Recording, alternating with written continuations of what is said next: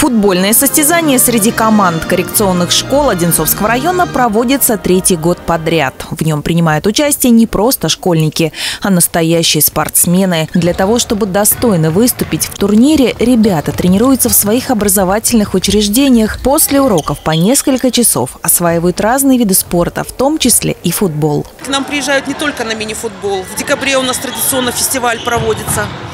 Э, в этом году и теперь будет ежегодно в апреле месяце у нас спортивный праздник в честь олимпийского чемпиона Куренцова Виктора Григорьевича. И вот в этих соревнованиях всегда дети участвуют у нас тоже с этих школ. В этом году участие в турнире принимают шесть команд, по две от каждой школы.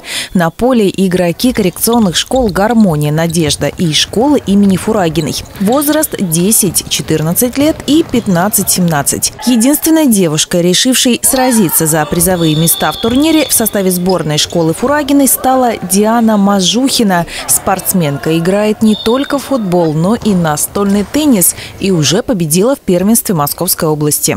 Пас даешь? Да. Забиваешь?